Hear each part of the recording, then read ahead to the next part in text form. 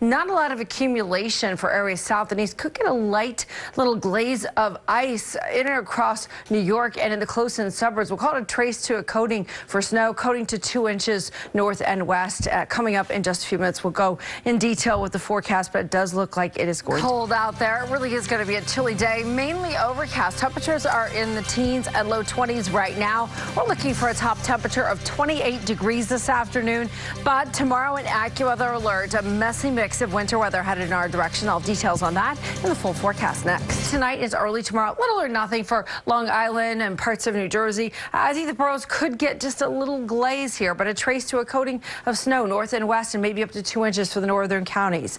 Expect temperatures to be very cold all weekend. I, is he hiding in the playroom to do his work? I think he is. He is. I love it. Uh, I am, thank actually. You. Yes. uh, get out from under the covers, Sammy. We see you. Hello, Kelly McCall. Uh, good morning to you guys. This Super Cat Saturday. We've got Davis up on the cabinets. You know, cats perched in high places at Kimberly Ann Mark's house. And finally, this morning, take a real good look. Yes, this is Lily, Lily Black, in a heart-shaped glow. But if you look a little closer, her nose is actually heart-shaped. So she's got a little heart tattoo as a nose. Pretty cute. Advisory for early tomorrow morning. For the rest of today, we'll see clouds thickening up even more and temperatures that are in the teens and low 20s stay freezing. A high today of just 28 this afternoon with some light snow and precip starting just after sunset. It'll be slick tonight and into tomorrow morning slippery weather.